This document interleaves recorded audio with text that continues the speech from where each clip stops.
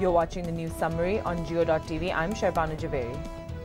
The Tehreek-e-Taliban Pakistan have claimed responsibility of the suicide attack on SSP Malir Rao Anwar's convoy on Malir Halt in Karachi.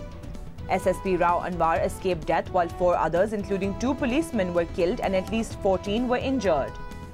A suicide bomber targeted the SSP's convoy as it made its way through a busy crossing at Malir Halt when he crashed his explosive-laden motorcycle into Anwar's armoured personnel carrier.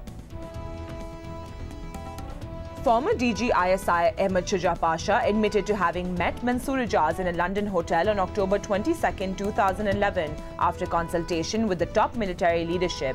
Pasha says he wanted to know more about the author of the Financial Times article. The former spy master adds that the meeting lasted four hours and was arranged in London as Ijaz agreed to share details outside of Pakistan and the US. The former DG ISI said this while recording his statement before the Memo Commission for the first time on Thursday.